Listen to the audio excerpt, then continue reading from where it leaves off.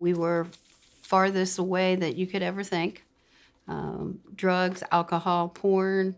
Uh, it, it was part of our lives.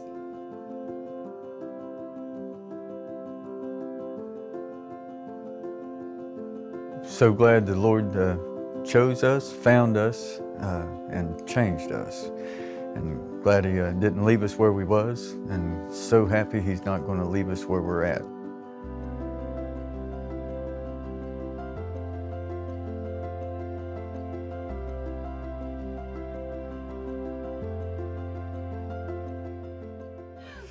Uh, so we met. We met in 2005. Um, he was coming in buying porn for him and his wife, uh, and we became friends. And um, it was perfect. I mean, he would order his porn, I would sell it to him. Both of us was on a track that you know, uh, an unhappy marriage, and uh, eventually uh, we turned to one another. And uh, I don't know, uh, hard hard to believe that the, the Lord was in it in the beginning, but the, the Lord used it.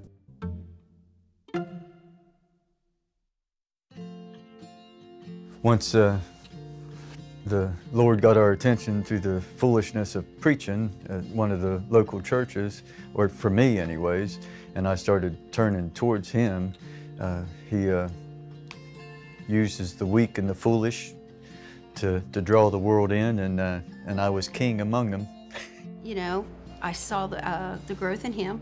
A friend of mine, I didn't go to church that night, and she said, What happened to your husband? I was like, What do you mean?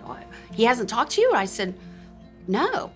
Two weeks later, I finally asked, said, Did you quit smoking?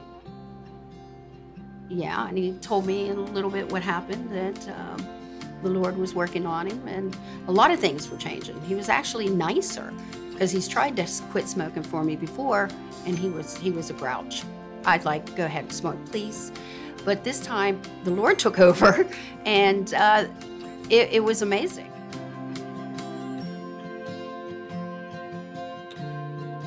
My daughter come to me and says, "Mom, you know, you really need to get away from the business. You know, I, I was tired. I was selling pipes, you know, tobacco products, porn, you know, adult items, you know, and but still, I wasn't yet committed. Um, I still wanted to be. I mean, money. I'll tell you, when you own an adult store, the money's there. Yeah, that was hard. That was hard to walk away from that, and I, I wasn't ready. I was around drugs all the time. People were coming in messed up, and, and, and my daughter says, "My mom, that's not what you want. Why did you open a coffee shop?" And I, I said no, and he kept saying yes, yes, that the Lord was pushing him to do it, and I'm like, no.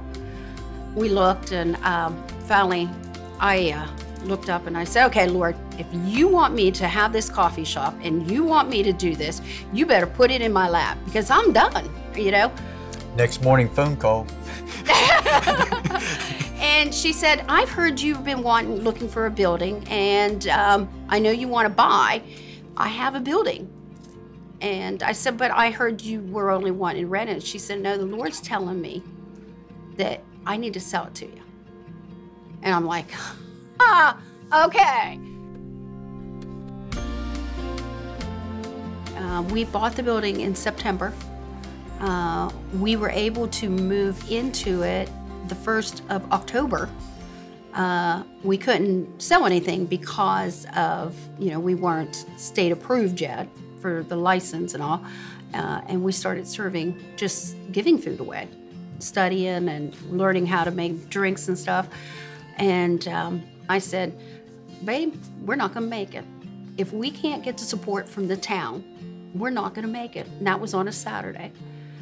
She, she went down the list. She said, if we don't get support from our friends, from our family, from our church, from our community, we ain't going to make it because we're going to starve to death at this rate.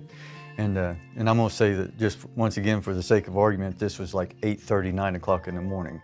By 9.30, we'd waited on our third customer that said, we was traveling through town looking for a coffee shop. Do y'all know you're not on the internet?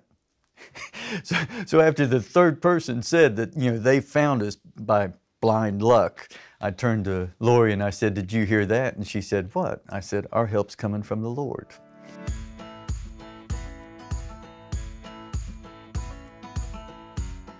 My granddaughter brought the first homeless in, and she brought him in, and we fed him and got him, you know, blankets and everything, and it just opened up a whole door.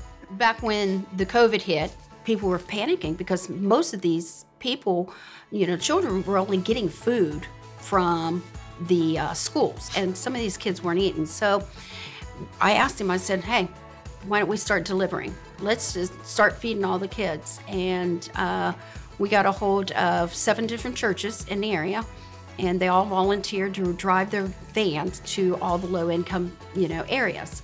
So between March 17th and June 2nd, uh, we gave out um, about 22,400 meals. For each bag that we gave out had four meals. And that was because of all the donations from the, the community, the churches. Um, it, it was like came together so quick.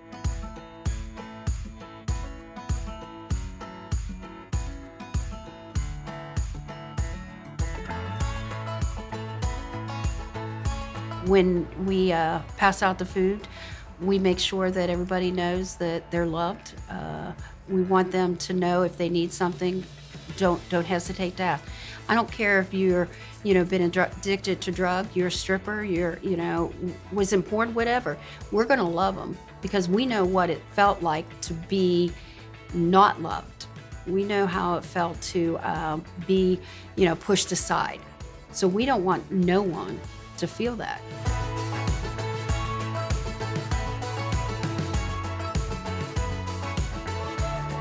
In Paul's letters, uh, one of the, our biggest testimonies is unity, and, and that's uh, unity in the body of Christ, the, the church. So, and it's not, uh, uh it's not vertical church, it's not uh, Elizabeth Chapel Church, it's not First Baptist, Missionary Baptist, it is the entire body of Christ. And I think that uh, when he's seen that unity in our community, I think that he rewarded it.